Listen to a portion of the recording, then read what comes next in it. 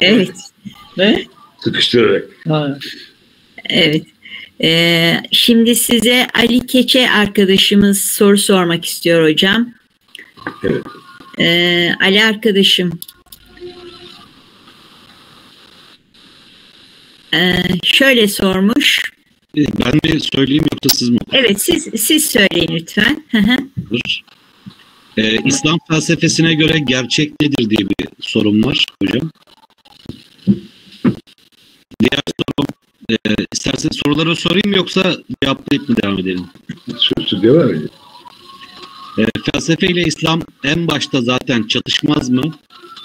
E, her şeyi kader ve yaratılmak ile açıklayan bir inançta felsefe nasıl hayatta kalabilir ki zaten kalamamış anlattığınız kadarıyla. Diğer soru Schröder'in kedisinden bahsettiniz. Bu Farabi ile arasındaki ilişki nedir? E, Kimde? onu sormak istedim. Schröder'in kedisinden bahsettiniz. Yanlış mı duydum hocam? Kediden bahsetmedim. Schröder'den bahsettiniz sanırım. Yok hayır etmedim. Tamam, yanlış duydum o zaman. Ee, mevcut tarikat kurucularına filozof denilebilir mi? Ya da tarikatın ilk kurucularına, tarikatların ilk kurucularına filozof diyebilir miyiz? Yok diyemeyiz. Onun yani felsefe dünya ile ilişkili bir şeydir, bir, bir konudur, sorundur. Tanrı ile ilişkisi yani felsefede şimdi şöyle söyleyeyim size Eşai denen filozoflar yani bu Elkindi, ibn Sina, Farabi ve şey e, Ebnül hareket ettirici sayarlar Tanrı'yı. Aristoteles'ten kaynaklanan. Yani yukarıda bir hareket ettirici vardır. Tanrı odur. Yani e, İslam dininde olduğu gibi Kur'an şeyleri ceza vermezler. Yani şeyde, felsefede. Zaten e, siz de söylediniz Hristiyanlıkla çatıştı din, felsefe. Ama Burjuva sınıfıyla işi hallettiler onlar. Biz halledemedik. Şimdi İslam dünyasında hakikat gerçek nedir sorusuna gelince tabi bu filozofa göre değişir. Yani Farabi'ye göre değişir. Ee, İbn şeye göre, Elkındi'ye göre değişir. Soru, soru şudur. Filozoflar, filozoflar yani gerek bu Elkindi, meşayi filozoflar şu soruyu sorarlar. Hakikat derken ne demek istiyorsunuz derler. Evet. Şimdi yani şeyde İslam dininde hakikat doğrudan doğruya Allah'tır. Ama felsefede böyle bir hakikatten söz edilemez. Hakikat insanın nesnel gerçeklikte olan ilişkisinden ortaya çıkan bir ilişkidir. İslam dünyasındaki felsefeye göre. Anlatabildim mi bilmiyorum. Yani nesnel dünyaya baktığınız zaman onu nasıl değerlendireceksiniz? O değerlendirme eğer nesnel dünya ile çakışıyorsa siz hakikati söylüyorsunuz. Çakışmıyorsa hakikati söylemiyorsunuz derler. Yani örnek olarak şunu verelim. Bir, bir e, havuzdaki suya e, bir sopayı soktuğunuz zaman kırık gözükür. Ama sopa kırık değildir. Evet. So- sopa kırık diye inat ediyorsanız ben çıkarırım sopayı görürsünüz. Şeyde İslam e, filozofları çok ilginçtir meşayiler filozofları. Gerçekçidirler. Evet. Rasyonalisttirler. Yani akıldan gelen bilgileri. Evet. Bilmem anlatabildim mi? Ee, şöyle şeyler de duymuştum ben zamanında hocam. Yani Nedir? e, nesneyi de kabul etmiyorlar. Yani e, şimdi İslam inancına sahip insanlar e, bu dünyanın bir görüntü olduğuna inanıyorlar.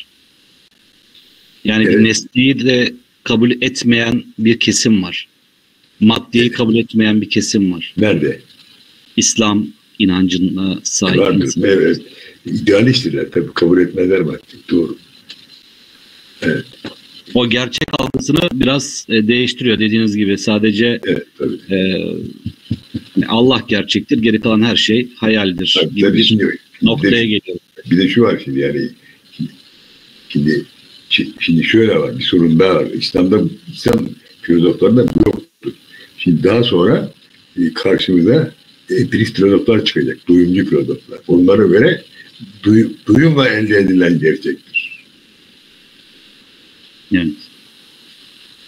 Nesnel gerçeği sen hayır efendim ben şöyle görüyorum, şöyle duyuyorum diyebilirsin. Ama bu İslam dünyasında yoktur.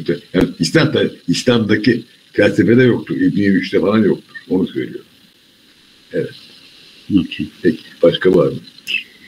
Evet, e, başka var mı arkadaşlar? E, düşünen arkadaşlara verelim de ben bir soru sorayım hocam. Evet. E, arkadaşlar düşünüyorlar herhalde. Ben de Gazali'nin bu düşünmeyi yasaklaması ya da felsefeyi yasaklaması evet. günümüze yansıdı diyebilir miyiz? Şu an siyasal İslam içerisindeyiz mesela. Ya, yansıdı zaten Gazali İslam'ın resmi filozofudur. Fatih Sultan Mehmet'in önünde Gazali ile ilgili tartışıldı. Gazali'yi seçtiler. Evet. Gazali Osmanlı Devleti'nin resmi filozofudur. Bugün de yani, yani bütün kitaplarımıza, İbn kitapları pek basılmaz. Gazali kitapları basılır. Hatta Gazali'nin e, şeyi vardır. nasıl abdest alırsın, nasıl yemek yersin, nasıl oturursun, nasıl uyursun diye böyle ilmani vardır iki çift. Nasıl cinsel ilişkiye girersin hepsini anlatır. Ona göre. Bütün İslam dünyasında yalnız Türkiye değil. Bütün İslam dünyasında Gazali şeydir. Hüccetin İslam'dır. Yani İslam'ın kılıcıdır. Evet. Evet. Ayrıca bir de şu var. Gazali idealist bir filozoftur. Nasıl ki şeyin e, İngiltere'de e, Berkeley idealist bir filozofsa onun aşağı yukarı onun karşılığıdır. Türkiye'deki. İkisi de sistemin kapitalist sistemin savunduğu düşünürlerdir.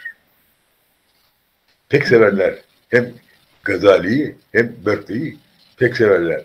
Doğuda Ber e, Gazali, batıda Berkeley maddecilik için savaşırlar. Maddeciliğe karşı savaşırlar.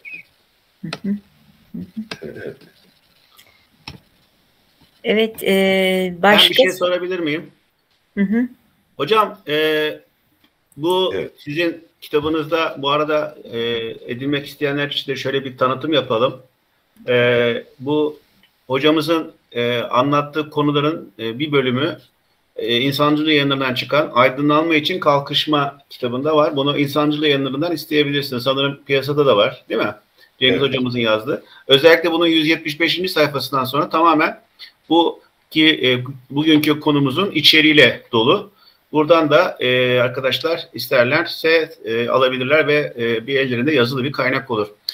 Hocam şimdi bu şeyi ben merak ediyorum. Yani siz burada niye e, İslamiyet'te bu felsefe geriye kaldı? Ne oldu da birdenbire durdu? İşte Batı kültürü öne geçti. Çünkü sizin ben çok iyi hatırlıyorum.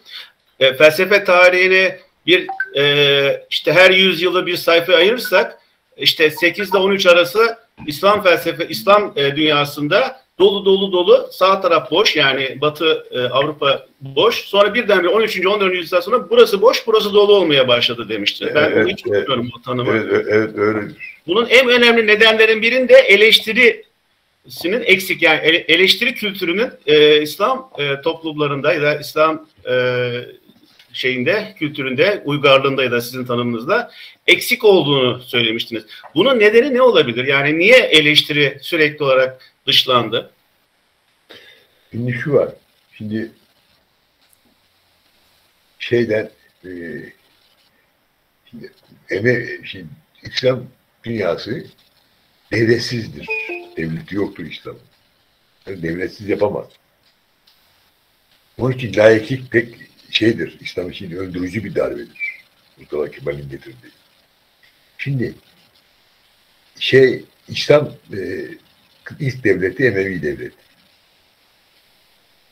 Daha sonra Abbasi devleti. Sonra gider işte Selçuklular falan. Şimdi biz bu devletlere baktığımız zaman 8. yüzyıla 11. yüzyıl arasında ki düşünce özgürlüğünü göremiyoruz. Şimdi bunun nedenini yalnız ben değil kimse bunu çıkaramıyor. Yani bunu anlayamıyorlar. Yani düşünebiliyor musunuz? Yani şöyle olur. Felsefe gelir, yavaştan yavaştan yavaştan gider. Öyle birdenbire kesiliyor. Evet. Yani bir üçten sonra bitti olay. Hele ondan sonra hele, hele ondan sonra felsefe deyinlerden silip atıldığı zaman insanda ilk şey gerçeklik gitimi uğrar insan. Gerçeklik gitimine uğrar. Osmanlı İmparatorluğu'nda tamamen gerçeklik gitimi vardır. Vatandaş kuldur, hiç sesini çıkartamaz. Hatta o hale geldi ki bakın bir padişah 3. Mustafa Alman İmparatorluğu'na mektup yazıyor. Diyor ki sen diyor savaşları kazanıyorsun. Senin müneccimlerin kim diyor. Bunu söyleyen kim biliyor musun? Padişah bu. Osmanlı İmparatorluğu'nun padişahı adam. Ve bu adam Ecinler taifesini çağırırken savaşta ölüyor gidiyor. Şimdi yine bir noktaya gelelim. Oktay Akbar'ın dedesi iş gereği Anadolu'yu dolaşırken sıtmadan kırılmış bir kasabaya gider. Sinekten, sinekten geçilmiyordu kasabada. Çünkü kasabada bataklık vardır. Ve buranın e, kaymakamı şu bataklığa bakın ne kadar güzel görüyor musunuz der yeşil yeşil fıkır fıkır kaynıyor. Der ki Oktay Akbar'ın verirdi. Ya sıtma buradan geliyor. Hayır der Allah'tan geliyor. Osmanlı İmparatorluğu bu. Gelelim bugüne. Coşkun Özer, Coşkun Bey'i tanıyor musunuz? Genetik uzmanı, profesör. Tanıyoruz tabii doktor, evet. Hı hı. Bu adam bir gün dayak yiyecek biliyor musun? Ben kendisine söyledim. Seni dövecekler diyor, hoca haberin olsun dedim. Şimdi bu kahveye gidiyor, anlatıyor. Diyor ki, arkadaşlar akraba birliği yapmayın, genetiği anlatıyor. Kendisi söylüyor bunu. Sonra ki arkadan. Ta tatilde. Hoca, hoca Allah'ın işine karışma. Bitti. Şimdi Allah'ın işine karışma işte şey Gazali. Hocam bu enflasyonun da NASA bağlanması da biraz yakın gibi aynen, geldi. Aynen, aynen, aynen, aynen. Onun için ben baştan dedim ki bu tragedi kırılmadan İslam dünyası kurtulamaz. Sen bu halka enflasyonun ne olduğunu anlatamazsın arkadaş. Sen bu halka nasıl köy enstitülerini anlatamadın. Anlatamadın. Bu halka hiçbir şey iyi anlatamazsın. Derhal karşı çıkarlar. Neden? Çünkü gerçekten yetimine uğradılar. Ve dünyanın hiçbir yerinde yoktu. Türkiye'de komünist işçiler komünist ter, komünist terim milli yapmış işçi sınıfı. İşçi sınıfı komünizmi terin ediyor. Bundan daha bir komedi yaşanmaz. İşte benim tragedya dediğim bunlar. Bu tragedya kırılmadan yani düşünme dediğimiz işler şimdi nasıl, nereden başlayacaksın? Aristoteles'in metafiziğinden başlayacaksın. Hocam biraz ağır olmaz mı o çok? İşte ağır olduğu için bağ değil. Bu çok hafif, hafif kaçıyor. Her şeyi bizi yapar. bizi 3 sene hocam o kitabı okutmuştunuz biliyorum. 3 üç, üç buçuk senede evet. biz zor bitirmiştik onu. 4 yıl sürer. Geçen gün mahkemede kullanmış ya. evet. Aydın o 4 yılda 4, 3,5 değil. Valla benim zamanı 3,5 yılda yaptık bilmiyorum. Ben öyle hatırlıyorum. Evet.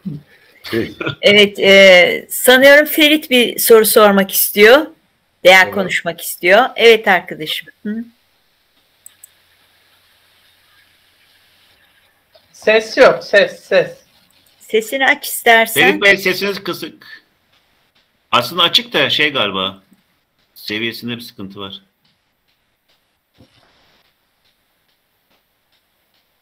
Gelmiyor. Bakıyor. Şöyle yapalım o zaman siz Ferit Bey yazın. Biz okuyalım buradan olur mu? O arada bir başka arkadaş cevap eder.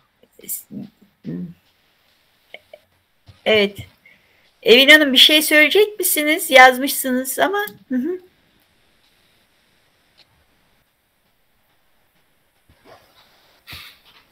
Evet, Evin Hanım Düştü. kayboldu mu? Evet, düştü. Keşke Ferit bir sesini kontrol etseydin arkadaşım ya. Ha tekrar Evin Hanım geldi. Hı hı. Evin Hanım söyleyecek misiniz bir şey? Hı hı. konuşayım dedim. Kapattım tamamen. Hocam teşekkür ediyoruz. Çok güzel bir söyleşi oldu. Ben bu İslam e, felsefesi lafına takıldım da dedim ki acaba İslam coğrafyasındaki felsefe mi desek daha doğru olur? Çünkü İslam'la felsefe bağdaşan şeyler değil. Yani fel- filozoflar çıktıkça İslamlar İslamcılar tarafından hep darbeler görmüşler. Yani e, bu açıdan bakıldığında İslam'ın de- felsefesi değil. E, olur öyle olur. İslam İslam coğrafyasındaki Co- bir felsefe coğrafyası, diyebiliriz. co- coğrafyası. Bir de yani İslam o dönemde bayağı e, bilimsel açıdan olsun. Felsefe açıdan ilahi olduğu için uygarlık deniyor. Ama coğrafyada denebilir tabii. Doğrudur. Yani bir itirazım yok ona benim. Evet yok. Evet. Bir e, de Horasan'la ilgili sorum vardı benim de. Bu. Horasan'dan daha çok çıkmış laflar Ya o- diye biliyorum. Tabii Orada- tabii. Doğru. Horasan daha hatta Horasan'da Maturidi felsefesi vardır. Ve şeye göre yani bizim inancımıza göre daha özgürlükçü, daha bilimsel bir mezheptir Maturidi dedim. Horasan Osmanlı'dan uzak kaldığı için daha açıktır. Yani zaten İbn Sina falan oradan çıktılar. Horasan'dan çıktılar. Doğru dediğiniz. Evet. e, Şükran bir şey söyleyecek misin?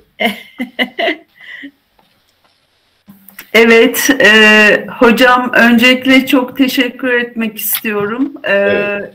Kitabınızı e, büyük bir zevkle okudum ve tekrar okuyacağım. Çünkü e, benim için e, yeni bir konuydu. E, okumadığım e, bir şeydi İslam felsefesi E, ve çok ilgimi çekti. E, kitabınız da gerçekten çok akıcıydı.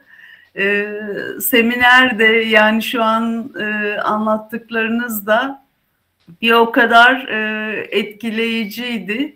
Onun için ben teşekkür etmek istedim. E, zaten bir de diğer e, estetik e, kalkışmayı da e, okuduğumuz için ve e, Artı grubunun e, öykü e, atölyesinin öğrencilerinden olduğum için Evet. bir de o açıdan teşekkür etmek istedim size. Evet, teşekkür Ee, ederim. Var olun, sağ olun. Çok teşekkürler. Siz de sağ olun. Evet. Hı hı.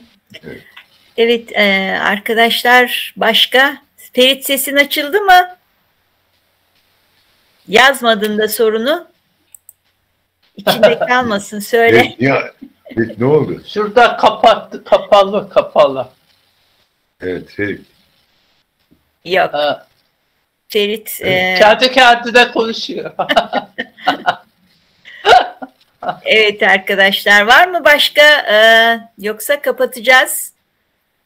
Saat ilerledi.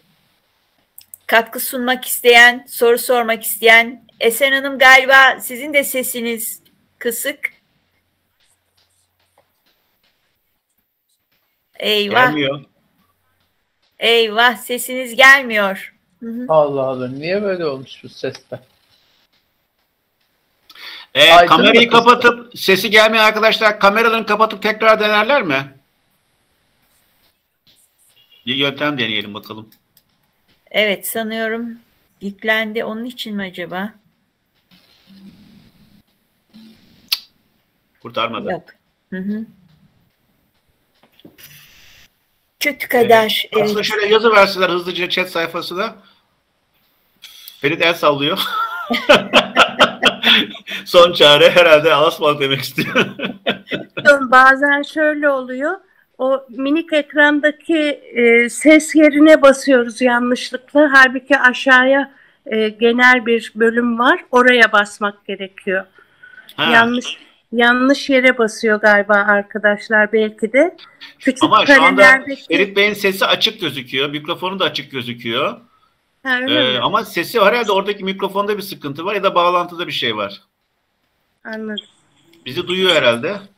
Peki, teşekkür etti. Evet. e, Esen Hanım da teşekkür etti hocam. evet. Evet, O Bu da da yeni e, yöntem. Yeni yöntem. Böylece Ee, bunu, bunu, yeni bunu, e, yöntem. devlet büyüklerimize iletelim. Varmış gibi olup yok etmek. Aa, konuş, konuşturmamak için yeni bir yöntem bulmuş olabilirsiniz. Kuş kulağında mı durdum Evet. Evet. evet. Ya e, zaten konu yeteri kadar tehlikeli ya. Hani biz de böyle üstünü kapalı kapalı geçiyoruz işte yavaş yavaş. Peki e, başka var mı arkadaşlar? Hocam sizin eklemek istediğiniz başka bir şeyler var mı? Teşekkür ederim. Sağ olun. Ee, Evet. ben ben bir şey e, hocam Cengiz Evet. hocam Buyurun. e, Hı hı. bir iki hafta önce sizinle çok güzel bir söyleşi yapmıştık. Gerçi o Evet. günkü e, konu modern modernizm ve postmodernizmin edebiyata yansımasıydı ama Evet. siz e, söyleşiye başlarken çok güzel bir giriş yaptınız. E, felsefe sınıf savaşımıyla e, başlamıştır Evet, dediniz. evet, evet. Şimdi hep e, arkadaşların sorusunda e, ya da bu coğrafyada yaşamış insanlar olarak sıkıntımız neden bizde felsefe gelişmedi? E, işte 12. yüzyılda durduruldu.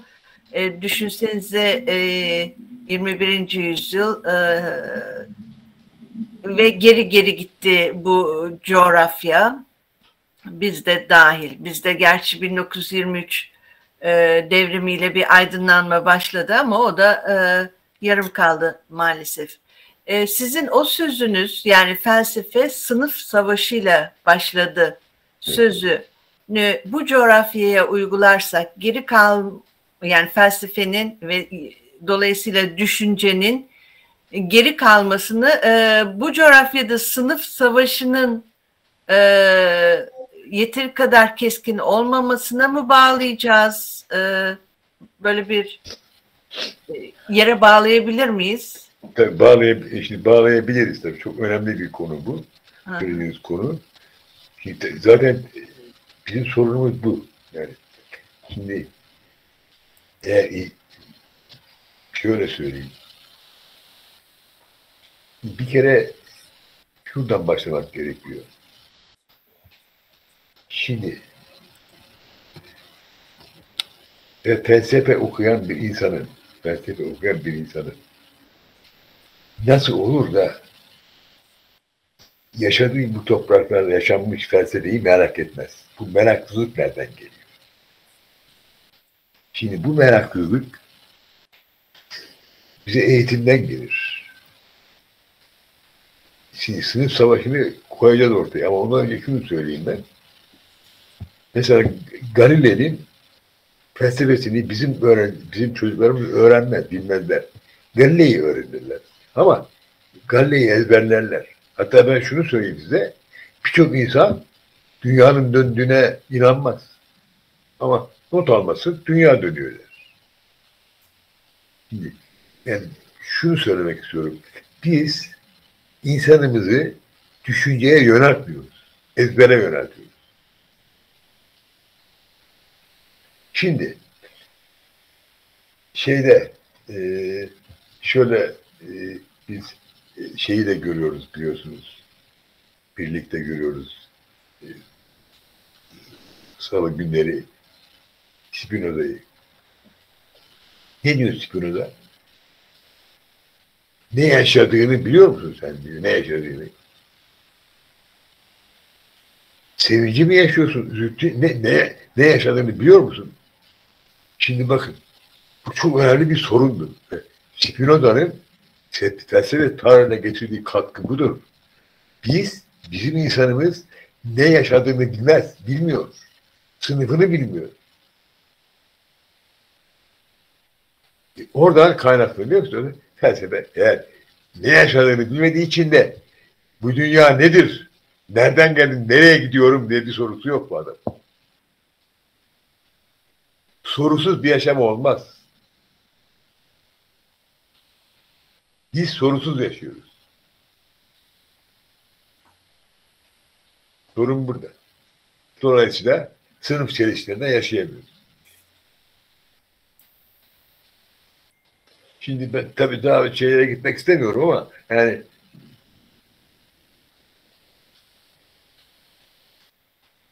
neyse işte durum bu. Yani böyle. Hocam bir şey söyleyebilir miyim? Böyle yani böyle başa böyle tıraş demişler. böyle halka böyle yönetim gerekir. Evet, Nuşen bir şey söyleyecek herhalde. Yani soracağım. Peki. Şimdi ben bu Google Meet'i ilk kez kullanıyorum. Yani nereden mesaj yazılıyor çözemedim. İyi. Ee, yani bu şey hocam farklı bir yöntem Zoom değil. Hı hı. Nurşen sağda altta 3 tane 5 tane simge var. Hatta orada insanlar var. Katılımcı sayısı gözüküyor. 27 falan şu anda. Evet, mesela. evet. Onun yanında bir tane böyle e, konuşma e, baloncu gibi bir şey. Onu Evet. tıklarsan bir sayfa çıkıyor. Evet, Evet. zaten e, hepinizi yeni görebildim. Yani onu deminden bir ayarlıyordu. Şimdi e, hocam bu biraz İslam'ın yapısından kaynaklanmıyor mu? Hangisi? Yani İslam çünkü kendi içinde hukuku var, her şeyi var İslam'ın. Yani bir yönetim biçimini oluşturuyor. Yani İslam'ı hani Avrupa'da e, farklı ya. Bugün bile İslam'la yönetilen ülkelerin geride kalması, kendi şeriatı var. E, Her şey içinde var yani bir devlet yönetim biçimi. Yani İslam topraklarının bu kadar geride kalmasının nedenlerinden biri değil midir? E, tabii e, şöyle yani şu var. Şimdi yani ben o zaman şunu şunu söylemeliyim. Milattan sonra 8. 8. yüzyıldan başlayarak özellikle Türkiye'de 1960'tan başlayarak bu halka ne söylenmedi?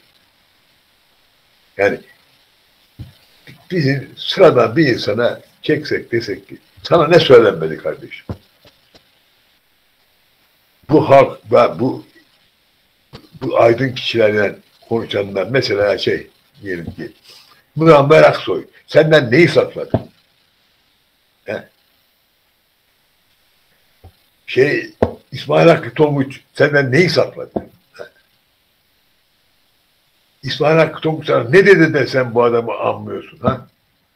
Hasan Ağa Yücel'e niye ne dedi sana Hasan Ağa? Yani söyleme, söylenme, söylenmedi mi? Yani söylenmedi mi? Kaç kişi idam edildi, kaç kişi işkenceden geçti, söylenmedi mi? Daha ne yapmasın? Ne yapmasın bu halka? Ben halkı suçluyorum, açık söyleyeyim size. Ben bu halka 20 yılda tutar sistemini anlatamadım.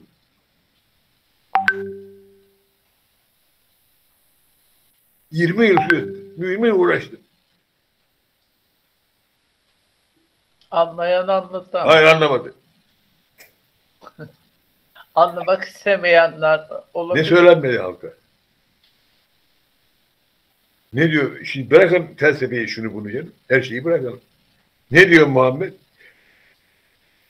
Komşusu atkan, tok atan benden değil diyor ya adam. Söylüyor bunu. Daha ne desin? Bu, bu söyle yani İslami bir kural bu. Bir kaide bu. Komşun tokken, açken sen tok yatamazsın arkadaş. Onun için tamam yani imparatorlukları suçlayalım. Herkesi suçlayalım ama yani bir bir de ne söylenmedi yani. Söylenmeyen bir şey yok. Ben ben bilmiyorum yani söylenmedik bir şey yok. Milli petrol anlatıldı, toprak reformu anlatıldı. NATO anlatıldı. NATO'nun emperyalist bir de bir kurum olduğu anlatıldı. Her şey anlatıldı.